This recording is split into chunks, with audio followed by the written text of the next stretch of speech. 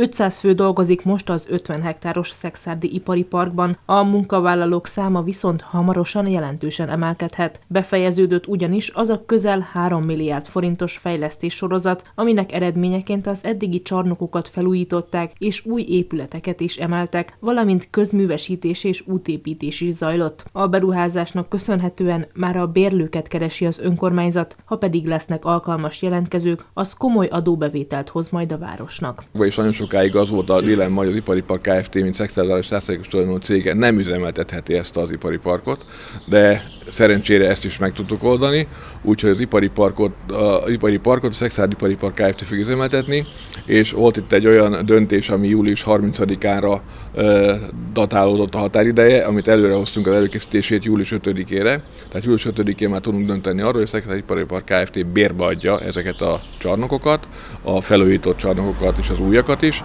úgyhogy reméljük, hogy ez hamarosan megtörténik, és minden működni fog. És, és keressük a bérlőket. A helyi járatos buszközlekedés finanszírozás régóta évi több milliós kiadást jelent Szexárdnak. Csak tavaly 500 millió forint mínusz keletkezett emiatt. Most ezzel kapcsolatban sikerült megegyezni az állami volánnal. A cég ritkítja a járatait augusztus 12-től. Voltak ugyanis buszok, amiken rendszerint mindössze néhányan utaztak. Emiatt három kocsit kivonnak a forgalomból, így hat járat marad meg. Cserébe viszont a szexárdiak a korábbi ár mindössze 25%-áért utazhatnak ezentúl városon belül helyjáratos díjat, viteldíjakat, értem alatt a, busz, a, a buszbérletet, a jegyet, az elővételvet jegyet, mindennek 75%-a csökkentjük az árát. Tehát gyakorlatilag negyedére csökken a, a fizetendő.